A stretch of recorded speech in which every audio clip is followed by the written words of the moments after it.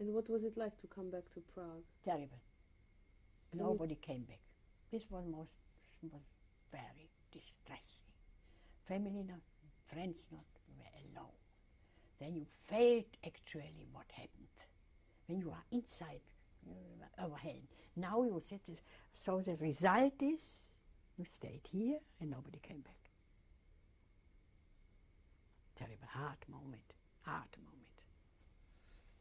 I played again a lot for Czech radio, in, the German radio, they were Czech and German radio.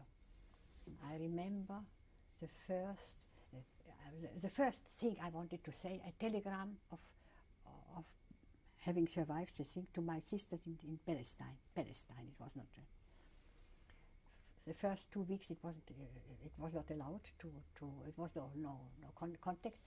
Afterwards I sent a telegram From Terezin or from? from Prague already, from Prague, that I, my son and myself uh, survived this ghetto, the, the Hitler Krieg.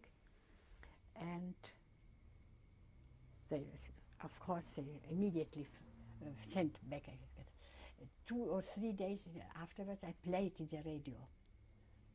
And I, I sent a telegram they should, they should listen to my playing. It was long waves, long waves, short waves, long waves.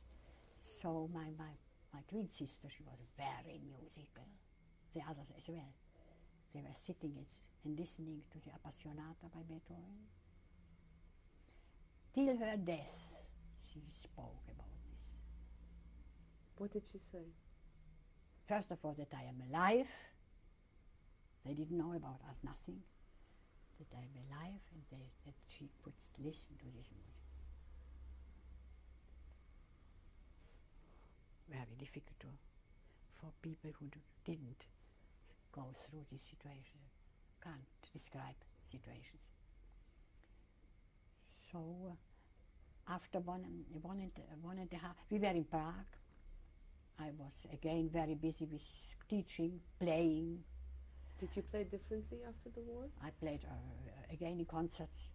But did you feel you played differently after the, the Ah. war experience? This I can't tell you. No, of course. You get older. When you get older, you are another attitude to life, uh, to all. So, yeah, yeah,